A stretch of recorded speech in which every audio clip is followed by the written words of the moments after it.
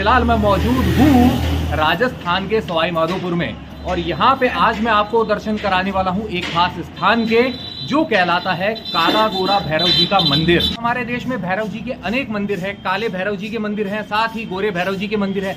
लेकिन काले गोरे दोनों भैरव जी के एक साथ मंदिर जो हैं, वो बहुत कम है। और उनमें से ही एक मंदिर है, ये वाला काला घोरा भैरव जी का मंदिर, जो स्थित है सवाई माधोपुर में। और इसकी खास बात ये है कि यह तंत्र मंत्र की जो क्रिया होती है, उसके लिए बहुत प्रसिद्ध मंदिर है। जी हाँ जो सबसे बड़ा मंदिर है तंत्र मंत्र के लिए, वो है गुवाहाटी वाला कामाख्या देवी का मंदिर। लेकिन उसके बाद में जो दूसरे नंबर का मंदिर, जो तंत्र विद्या के लिए प्रसिद्ध है, वो है सवाई माधोपुर का काला गोरा भैरव जी का मंदिर। और आज इसी मंदिर के दर्शन करने मैं आ गया हूँ। यहाँ पर मेरे साथ में आए हैं प्रदीप भैया, कराता हूँ उनसे मुलाकात। बड़ा सुनहरा मौका मिला है मेरे छोटे भाई मनीष दादीश के साथ। इनके साथ मैं आज यात्रा कर रहा हूँ काड़ा भैरू गोड़ा भैरू की। तो चलिए अब आपको करवाते हैं, यहाँ के सभी स्थानों के दर्शन एक एक करके। तो वहाँ सामने है भैरू दरवाज़ा, और भैरू दरवाज़ा से जस्ट पहले आप देखिए, यहाँ पर ये जो स्थान है, जहाँ पे रोड दो हिस्सों में बट रही है, यह कहलाता है क्षेत्रपाल जी का स्थान। ये देखिए, ये स्थान है यहाँ के क्षेत्रपाल जी का। इसके पास में आप देख सकते हैं, ये पेट्रोल पंप। क्षेत्रपाल जी के दर्शन हो चुके हैं। अब जाके दर्शन करते हैं। सबसे पहले काला गोरा भैरव जी मंदिर के और उसके बाद मैं आपको दर्शन कराऊँगा। यहाँ पे एक और मंदिर जो है राधा कृष्ण जी का मंदिर, उसके। अब जाना होगा हमें उस भैरू पोल को पार करके। उसे पार करते ही यहाँ ये जो पहाड़ी देख रहे हैं आप, यहीं पर स्थित है काला गोरा भैरव जी का प्रसिद्ध मंदिर। हर तरफ़ पहाड़ियाँ ही पहाड़ियाँ हैं, आप देख सकते हैं। ये देखिए। यहाँ भी देख सकते हैं आप ऊपर बनी हुई इस दीवार को, जो किले की दीवार जैसी ही है। सवाई माधोपुर में जो रणथम्बोर सेंचुरी है, उसकी जो शान है, टाइगर, आप देख सकते हैं, उसका भी चित्रण किया गया इस भैरू पोल के ऊपर। यूँ तो सवाई माधोपुर में कई बार आ चुका हूँ, लेकिन सच कहना चाहूँगा, मुझे इस मंदिर के बारे में पता ही नहीं था। तो आज इस मंदिर के दर्शन करने का सौभाग्य मिला है, बहुत अच्छा लग रहा है। आ गए हैं हम भैरू पोल तक, और ये देखिए, ये जो भैरू पोल है, इसमें भी पहले सैनिकों के रहने की व्यवस्था हुआ करती थी। देखिए ऐसे उनके लिए स्थान बना हुआ होता था। भैरू पोल को पार करते ही जैसे हम आते हैं राइट हैंड साइड में दिखाई देता है ये काला गोरा भैरव जी का मंदिर। काफ़ी बड़ा है यह, देख सकते हैं आप। कई मंजिला है यह मंदिर। पहाड़ी के बिल्कुल नीचे स्थित है, सामने दिखाई दे रहा है यहाँ का भैरव पोल। प्रवेश द्वार पे बने हैं ये दो हाथी और यहीं से हमें करना होगा प्रवेश। देवी माँ की मूर्तियाँ हैं शायद ये देखिए। सिंह पे सवार माता है ये ये देखिए। और इस तरफ़ है ये सीढ़ियाँ, इनसे जाना होगा हमें ऊपर। है ना कितना बड़ा मंदिर? अभी ऊपर तक जाना है हमें। सीढ़ियों से थोड़ा ऊपर आते ही लेफ़्ट हैंड साइड में है माँ भवानी का मंदिर। ये देखिए नीचे, ये वाला जो भाग है। अच्छे से अभी आपको दर्शन कराता हूँ। इस तरफ़ है बारह दरी, बारह ज्योतिर्लिंग। ये जी हाँ बारह ज्योतिर्लिंगों के प्रतीक है ये। ये देखिए आप। इन बारह ज्योतिर्लिंगों के प्रतीक के पास में ही आप देख सकते हैं, यहाँ पे ये प्रतिमा सिंदूर से सुशोभित। जय बजरंग बली और यहाँ पे हैं अनेक शिवलिंग, देख सकते हैं आप। हर शिवलिंग के आगे नंदी भगत होते हैं तो यहाँ भी है। तो माता के जो नव दुर्गा स्वरूप है, वो यहाँ पे विराजित हैं, देख सकते हैं आप। यहाँ आप देख सकते हैं शेर को, जो कि माता का वाहन है और महादेव जी का जो वाहन है नंदी, जिसे मारवाड़ी में नांदिया कहा गया है, इनको एक साथ यहाँ पर। ये जो रास्ता है, ये लेके जाता है गुप्तेश्वर महादेव की तरफ़, और उसके लिए हमें ये यहाँ सीढ़ियाँ जो है, इनसे नीचे आना होता है। और ये रहे महादेव जी, जो कहलाते हैं गुप्तेश्वर महादेव। रोशनी यहाँ पर नहीं है, प्रकाश नहीं है, इसलिए फ़ोन से ही हमें रोशनी करनी पड़ रही है ताकि आप दर्शन कर सके गुप्तेश्वर महादेव के। जय हो महादेव जी की। महादेव जी के साथ में इनका होना ज़रूरी है। लीजिए सीढ़ियों से वापस आ गए हम। ऊपर। इसे कहा जाता है, यहाँ का अमृत कुआ। ये देखिए। चलिए, अब चढ़नी होगी हमें सीढ़ियाँ। और चलते हैं ऊपर।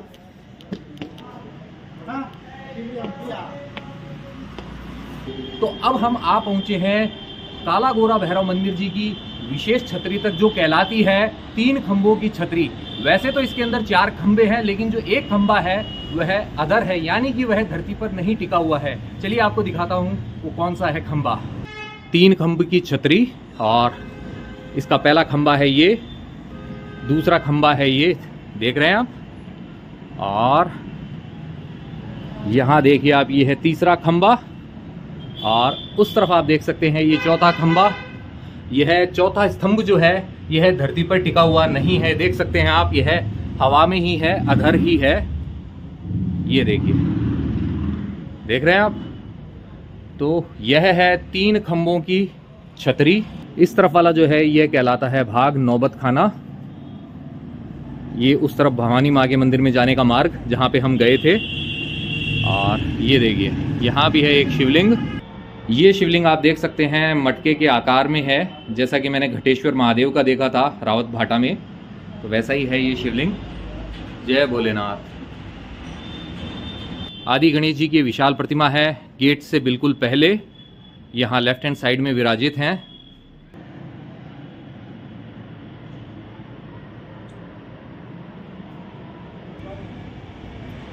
ये देखिए। प्रविष्ट होते हैं काला गोरा भैरव जी के मुख्य मंदिर के अंदर, जिसका प्रवेश द्वार है बिल्कुल सामने। यहाँ पे है गणेश जी। यहाँ पे है हनुमान जी। अब चढ़नी होगी थोड़ी सीढ़ियाँ।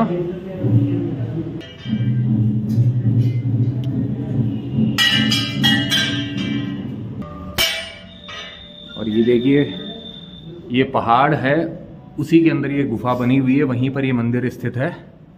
इतनी सीढ़ियाँ चढ़ के हम ऊपर आए हैं। और अभी शाम हो गई है, इसलिए रोशनी थोड़ी कम हो गई है।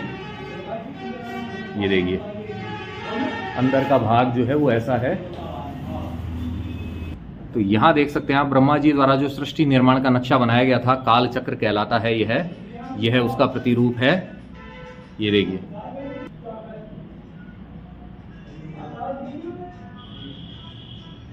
तो सबसे पहले दर्शन कीजिए गोरे भैरव जी के। एकदम सामने आप दर्शन कर रहे हैं। सिंदूर से सुशोभित हैं और काले भैरव जी के लिए हमें जाना होगा उस तरफ़, वहाँ दर्शन करेंगे हम। इस तरफ़ से जाके।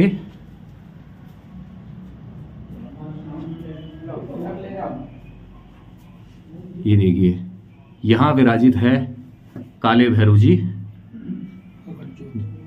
और वहाँ पे जल रही है अखंड ज्योत। ये देखिए।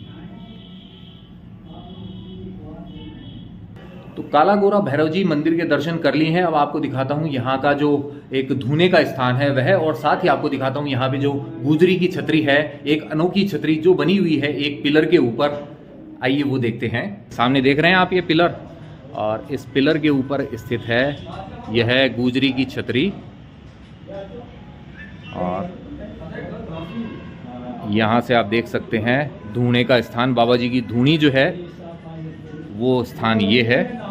यहाँ इस पिलर के ऊपर बताया गया है, मंदिर का नक्शा ये देखिए, जैसे कि ये मुख्य द्वार हो गया और एक के ऊपर एक मंजिल पे आते हैं यूँ। और इस तरफ़ देखिए आप यहाँ, नौ मंजिला मंदिर ये कहलाता है, क्योंकि बाकी की चार मंजिलें जो हैं, वो पहाड़ी पर ऊपर हैं।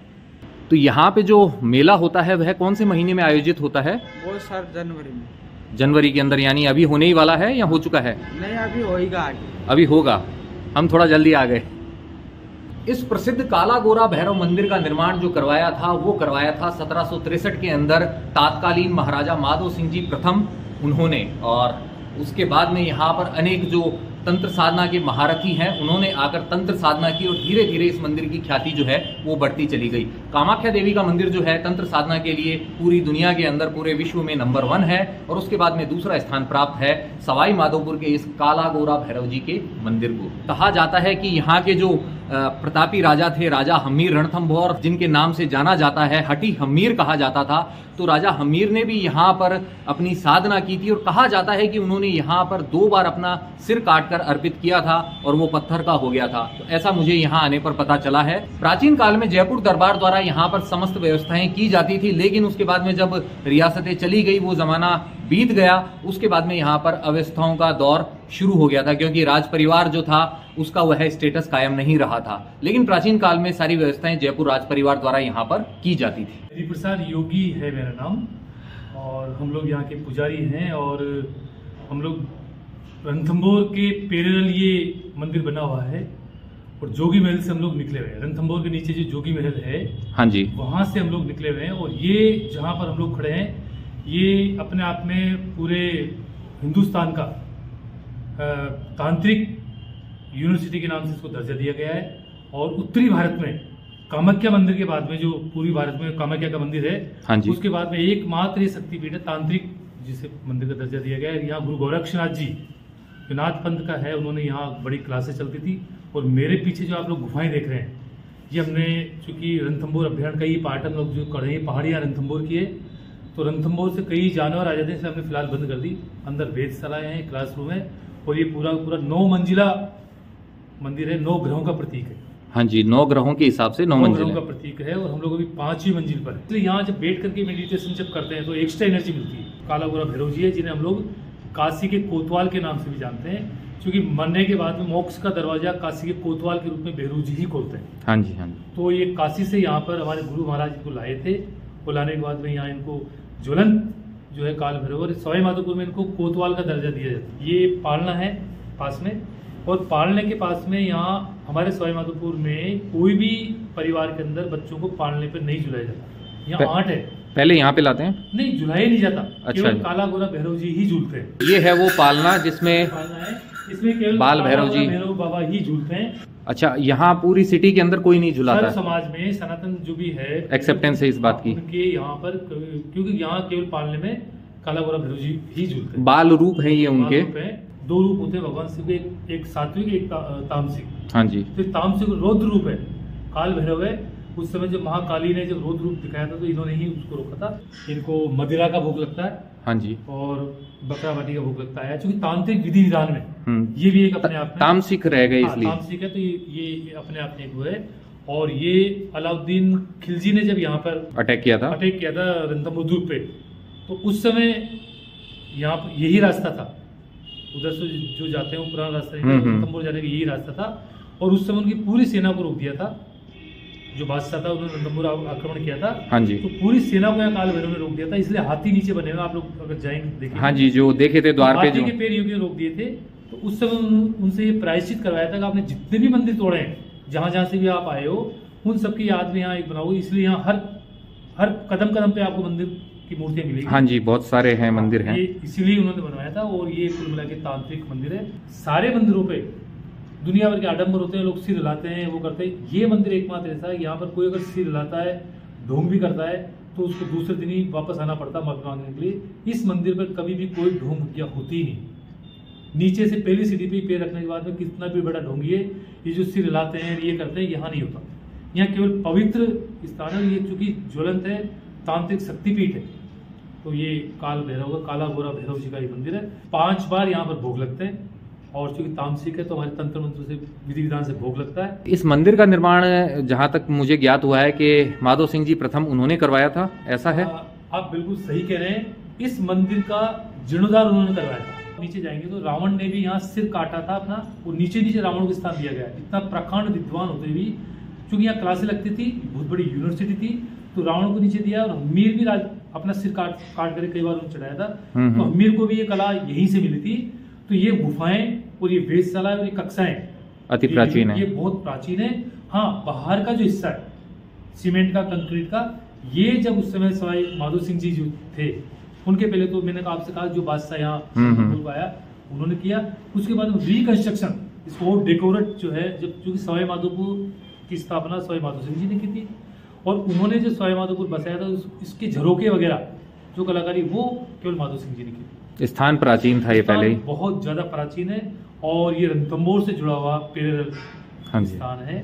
और आज भी हम लोगों का आप देखेंगे हमारी महिलाएँ जो यहाँ की पुजारी हैं उन पुजारियों की महिलाएँ ऊपर एंट्री नहीं और हम लोग नवरात्रों में हमारे किसी भी परिवार में हमारे पचास साठ परिवार है पुजारी परिवार। हाँ जी। उनकी सब्ज़ियाँ छुपती नहीं है हम चटनी रोटी खाते हैं दाढ़ी नहीं बनाते हमारे कई सारे बेन है वो इस तांत्रिक परंपरा के अनुरूप हम लोग आज भी निभा रहे हैं। पूरे नियमों का पालन करते हैं। हमें कहने के लिए कोई नहीं आता हमारे ऊपर कोई दंड देने के लिए नहीं है हमारे ऊपर कोई ऐसा नहीं पनिशमेंट कर देगा लेकिन चूँकि पुरानी परंपरा है तो हम लोगों का आज भी है और आप लोग सब लोग यहाँ पर पधारें दर्शन करें। सवाई माधोपुर जिला मुख्यालय से मात्र तीन किलोमीटर दूर रेलवे स्टेशन के पास रंथमपुर की पहाड़ियों पर स्थान है।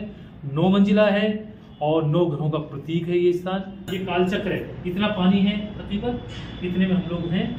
देवी देवता, सारे जीव जंतु हम लोग सब। हाँ जी। पाँच मंजिला गोरा भैरव जी का मंदिर जो है, उसके दर्शन आपने कर लिए हैं। इस मंदिर के साथ ही ऊपर की तरफ़ पहाड़ी के ऊपर बने हुए हैं चार मंजिला मंदिर और ये देखिए, ये जो ऊपर जो आप पहाड़ी देख रहे हैं, चार मंजिला मंदिर वो ऊपर की तरफ़ है। ऊपर वाले भाग में हम अभी नहीं जा सकते हैं क्योंकि हो चुकी है शाम और वहाँ पे खतरा है जंगली जानवरों का। मुझे यहाँ पे अभी पुजारी जी ने कहा है कि इस समय जाना उचित नहीं है तो ऊपर नहीं जा सकते हैं। आज बाबा ने बुला ही लिया, गणेश जी ने यहाँ पर। तो यहाँ भी दर्शन हो गए भैरू जी के। भैरू जी के हो गए गणेश जी के हो गए और- जी के हो गए। ये देखिए आप कितना बड़ा शिवलिंग है प्रदीप भैया के पास में ही आप देख सकते हैं यहाँ पर। उस हिस्से में हम थोड़ी देर पहले थे। वो वाला जो है मंदिर वो राधा कृष्ण जी का मंदिर है जहाँ हम थोड़ी देर बाद जाएँगे। ये है राधा कृष्ण जी का मंदिर जो स्थित है काला गोरा भैरव जी के मंदिर के बिल्कुल पास। तो भैया काला गोरा भैरव जी के बाद में अब कृष्ण जी राधा जी के दर्शन किए जाएँ? क्यों नहीं किए? चलिए। यहाँ भी दो हाथियों के बीच में बना हुआ है ये द्वार और वहाँ आगे आप देख सकते हैं राधा कृष्ण जी के विग्रह हैं। इस द्वार से हम अंदर दाखिल हुए हैं प्रविष्ट हुए हैं और आंतरिक भाग जो है ऐसा है मंदिर का आप देख सकते हैं। लीजिए करते हैं दर्शन राधा कृष्ण जी के झूले पे विराजित हैं। तीन चार सूखती नहीं है। ये पानी भरा। ये गया तो गंगा ये जमुना ये सरपति तीन गुंडी है और दो गुंडी चलती रही है। सवाई माधोपुर के प्रसिद्ध काला गोरा भैरव जी मंदिर के दर्शन मैंने कर लिए हैं। मन मेरा प्रसन्न है प्रदीप भैया का मन भी प्रसन्न है और आशा करता हूँ इस मंदिर के दर्शन करके आपका मन भी प्रसन्न होगा। अगर आपको ये ब्लॉग पसंद आया है तो आप जानते हैं आपको करना क्या है। जानते हैं ना? आपको इसे लाइक करना है शेयर करना अपने नियर एंड डियर वंस के साथ में, साथ ही कमेंट करके पहुँचाने हैं आपके विचार मुझ तक।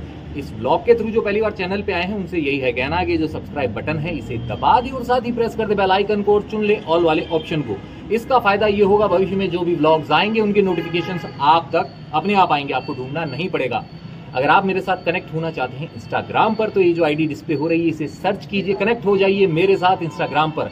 जाते जाते आपसे बस इतना ही है कहना कि यत्र तत्र सर्वत्र घूमते रहिए, घुमाते रहिए लाइफ में हमेशा मुस्कुराते रहिए। जय हो काला गोरा भैरव जी की।